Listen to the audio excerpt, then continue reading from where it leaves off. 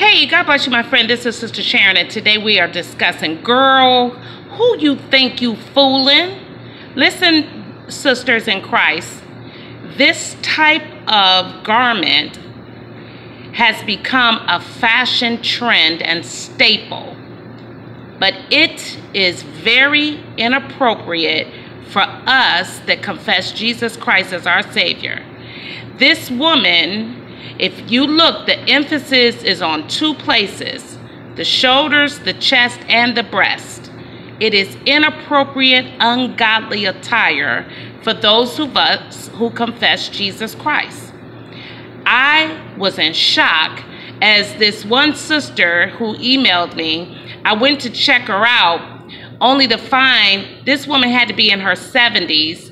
She's sitting on her YouTube channel with a blouse on similar to this one, 70 something years old. Sisters, wake up. This is sexual, it is provocative, it is inappropriate. And for those of you that seem to have a problem with understanding, a tree is known by the fruit that it bears.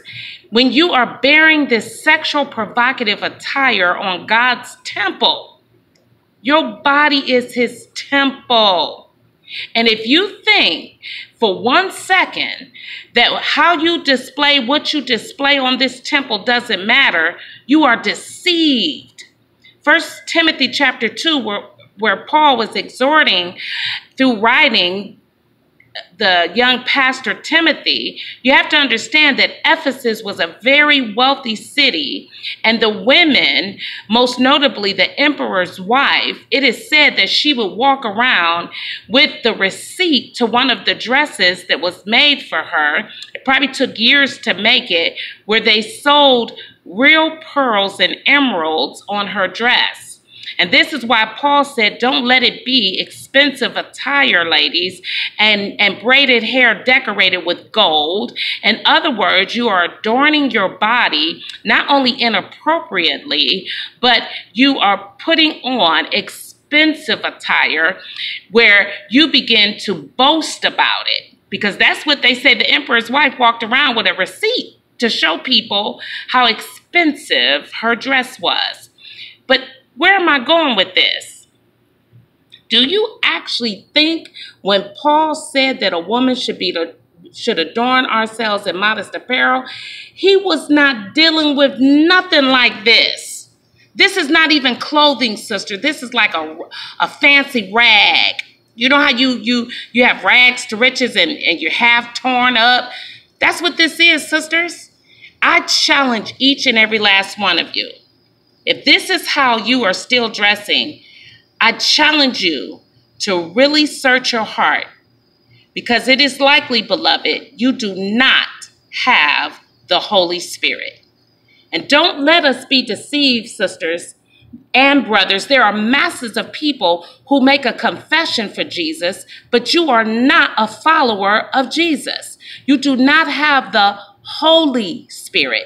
The Holy Spirit convicts you and I of that which can cause you to sin and others. And let me tell you, if you can put this type of shirt on, with these shoulders out, you are still moving in lasciviousness. And if it doesn't bother you, I'm telling you, sisters, you're likely you are deceived by your own sin. Just like Hebrews chapter 10 says that we should provoke one another until the day of the Lord.